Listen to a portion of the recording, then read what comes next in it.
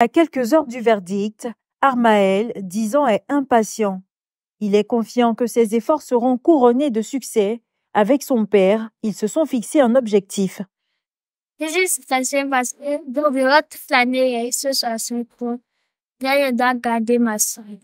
J'espère que je peux avoir 63 points. On s'est préparé, hein? On s'est préparé pendant neuf mois. Sinon, c'est depuis, quoi. Depuis c'est bien. Hein? Donc, euh, il a son objectif, il connaît son objectif. C'était 160 points. Ça? Oui. S'il te plaît. Oui. Je suis en train de m'apprêter pour aller prendre mes résultats. Là à faire mes boutons. Après, je vais aller chercher mes lunettes. Je suis un peu stressée, mais je suis sûre que ça va aller.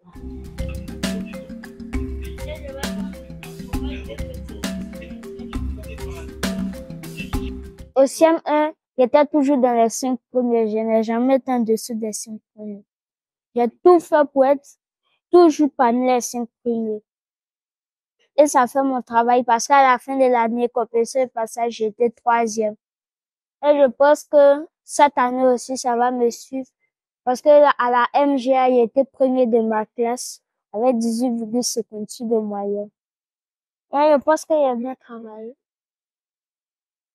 Pour l'ultime étape avant le collège, Armaël a le soutien de toute la famille. Abel est en train de s'apprêter. C'est fini, les parents aussi sont en train de s'apprêter. Donc, si tout le monde finit, on va partir chercher ses résultats. Et tout le monde va le soutenir. Il a été constant dans son travail, l'a, l'a maintenu. C'est ça, non? Presque les mêmes euh, intervalles de points et autres. Bon. Donc, logiquement, il doit être dans la même vague. Autour de 160. Accompagné de ses frères et de son père, il se rend à l'école primaire catholique Les Agneaux d'Abata. L'attente avant la proclamation des résultats paraît interminable. Les parents trépignent d'impatience. Mon cœur bat même. Il est sur la place de mon enfant. Lui, il est tranquille. Il n'a pas peur. Il a. Et C'est sa manière aussi d'avoir peur. Sinon, moi, quand je suis, je suis stressé même. C'est pas facile. On attend d'autres fois crier de l'autre côté là-bas. Depuis là, on ah, quand affichant crier aussi. Que tu nous aides. Moi, je suis tranquille, hein. Ma belle-sœur a validé. Ouais, ça va valider. Ça va valider pas, il va pas que la valider. Tranquille. Tranquille. Tout est OK. C'est un ouf de soulagement pour les candidats et leurs parents lorsque le directeur de l'école annonce le bilan de cet établissement. Nous avons fait 100%. Ce que je ressens, c'est un sentiment de fierté pour les enfants qui ont bataillé jusqu'à ce que trouvent ce résultat-là.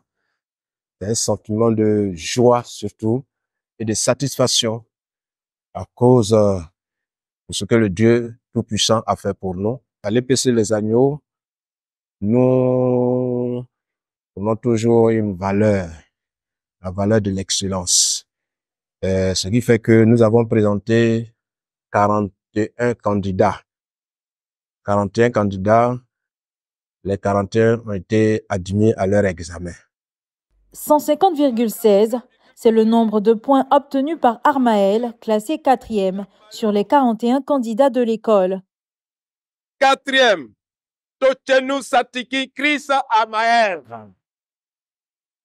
Même si l'objectif des 160 points n'a pas été atteint, l'écolier et son père sont dans la joie. Je suis très contente d'avoir eu mon examen.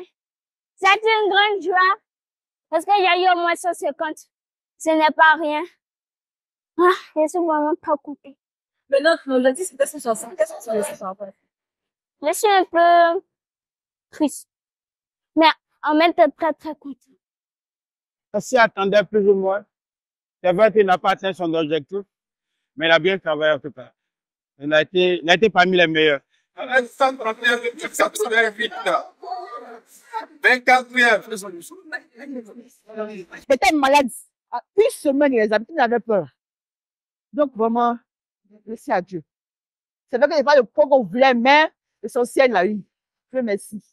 Vraiment merci. Merci. Aussi à l'école aussi. Et puis, c'est l'agneau. C'est une très bonne école. Vraiment merci.